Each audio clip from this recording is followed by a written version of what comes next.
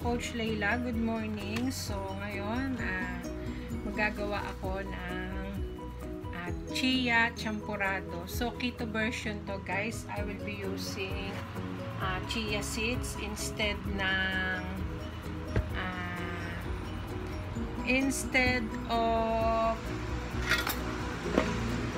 glutinous rice or malagkit. So, this is keto version guys. So, pag nagke-crave kayo sa champurado, so ito yung pwede nyong i-alternate uh, kung gusto nyong kumain ng champurado. So, this time guys, ang gagamitin ko is coconut powder, coconut cream or nyog. So, at saka uh, cacao guys, Hershey. So, unsweetened to guys, 100% cacao. So, madali lang to guys. Uh, first thing first, at saka ito ang ating erythritol. So, ito yung chia ko guys. Chia seeds. So, magbababad lang tayo nito. So, actually, ibababad natin siya eh. So, 2 tablespoon guys.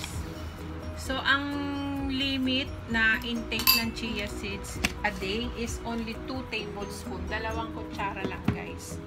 And then, lagyan natin siya ng 1 tablespoon na cacao powder. Yan. And then, itong ating erythritol. So, mga 1 tablespoon, 2 teaspoon lang yan. Ganyan lang siya guys. And then, itong ating cocoa powder is half lang siguro nito or 2 tablespoon kasi lalagyan ko pa siya ng APC mamaya. Nasa ibaba yung APC ko. So, ayan. Mga 2 tablespoon guys. Para ratio siya. So, almost 2 tablespoon lahat. And then, lagyan natin ng 1 cup na hot water. So, yan. I-stir natin. Mamaya, pag naano na yung ano nito guys, yung chia, magiging parang jelly siya. So, lalaki siya pag nababad siya ng dalawang oras usually binababad yung chia guys. So, this time, uh, hindi pa to pwedeng kainin. Kailangan ibabad natin siya dyan sa mainit na tubig. So, mamaya, pag lamig nito is para na siyang gelatin. So, ayan, may instant champurado na tayo guys.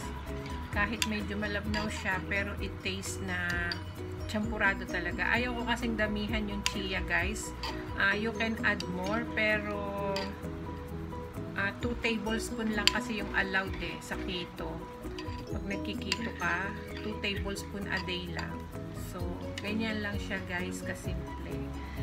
Ang ating uh, chia champurado using chia seeds. So, ayan guys. So, di ba parang chocolate lang siya. Pero mamaya yan, aalsa kasi yung chia seeds. So, magiging parang gelatin siya. Parang sago, gulaman, gano'n. So, may texture naman kayong makakain after. Yun. This is it guys, our keto chia champurado. Thank you, thank you guys sa mga nanood. And this is Keto Coach Layla. So, another uh, own version na naman to ni Coach. So, ito yung alternate natin sa chia champurado na which is uh, na which is keto friendly. It means it contains healthy fats and protein. So, chia seeds is very rich in protein and omega-3 at saka ano guys uh, ano siya uh, rich in fiber so maganda siya talagang intake. Everyday ako niya nagte-take guys. So naglalagay lang ako ng mga switching kung ano yung saan ko siya ihahalo. So everyday nagte-take ako niya na dalawang kutsara a day. So thank you thank you guys. This is Keto Coach Layla it's all about keto. Kung bago po kayo sa aking uh, channel, please do like and like and subscribe to my channel and click the notification bell para po update updated kayo sa lahat ng aking mga uploads. So, thank you, thank you guys. This is Keto Coach Laila and ito ang ating simpleng chia champurado. Keto 5. Thank you guys. Bye-bye.